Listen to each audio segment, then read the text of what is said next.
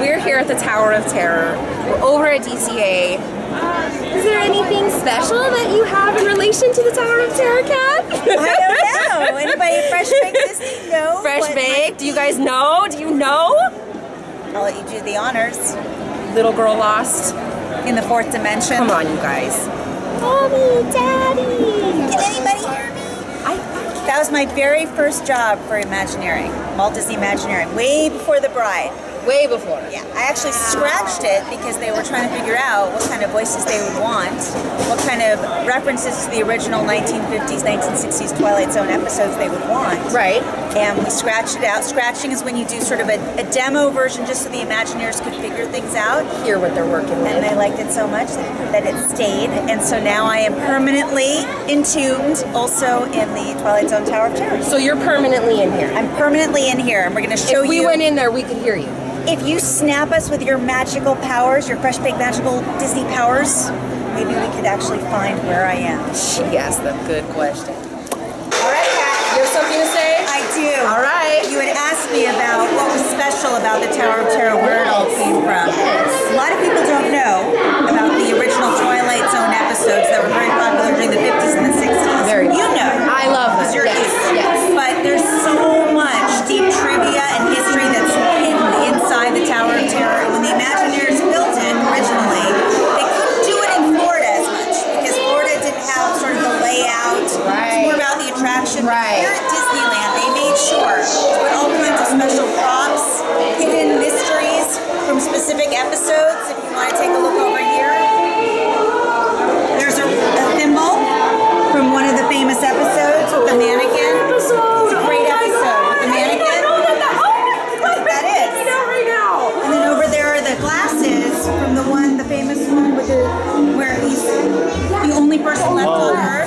So that's where we're going.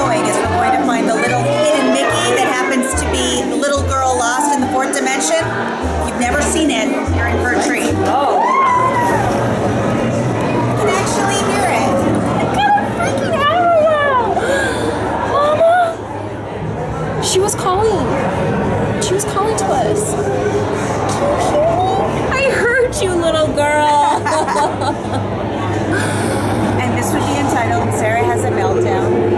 Hearing my voice. is, is the friend gonna come to draw another chalk line for us? So we can You know, it's already there for us.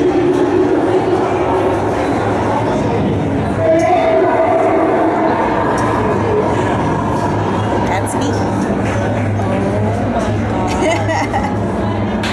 Oh so in the episode, the professor comes and says, I will show you how to get the portal to the fourth dimension. Yes. And he whips out some chalk, and He don't knows you exactly know, what he's doing. he just knows exactly what he's doing. and the parents happen to be friends with an astro. Oh, you hear me?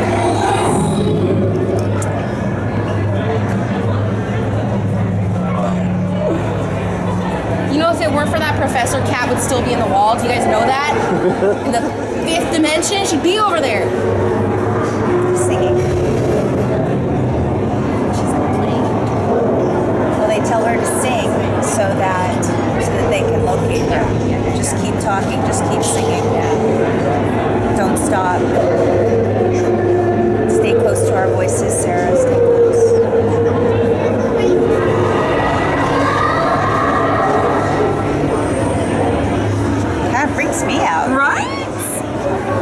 I'm freaked out. That's some effective stuff right there. That's really effective. That's that's Imagineering at its finest, in my opinion. That's just magic all around. One of the things that I find particularly unsettling listening to this is it's occurring to me that I'm so fortunate to be in the two spookiest rides.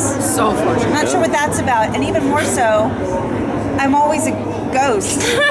There's always like mad ghost processing behind. What is it about my voice? Because I sound normal in real life, I think. That you know what? I would just take that as at least now you'll be immortal. You don't even have to worry about it. You're just always going to be immortal. And ghostly. Yep. I have to ask you. What are you saying? So it, it, it gets louder and softer, but I'm basically on a loop saying, Can anybody hear me? Mommy, Daddy, is anybody there? And then I sing, Go through a couple of nursery rhymes. She's singing right now. I'm singing. And obviously, when you were doing it, it wasn't going in and out as we can hear. Daddy, mommy. Right.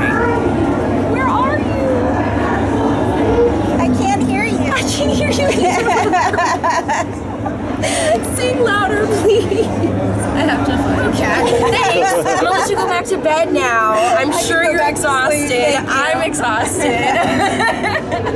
um, but in reality, Kat, I, I'm I'm blown away. I, I've already I, I, I already love you as it is, and, and I feel like I keep learning from you as we're doing this. But literally here at the Tower of Terror, I'm more blown away than I've been with you all day long. This the Twilight Zone, I geek out over it, and the fact that you have such an important role, I think that's awesome. We've got lots more for you guys to see, so grab a churro and watch our Star Wars Land updates with the Knothole Gang, or maybe our Secrets and History videos. And we're now at Disney World, so please do subscribe and watch our adventures there. And don't forget, you can support Fresh Bake through our Patreon campaign and get some exclusive benefits in the process. Thank you, everyone. Fresh Baked!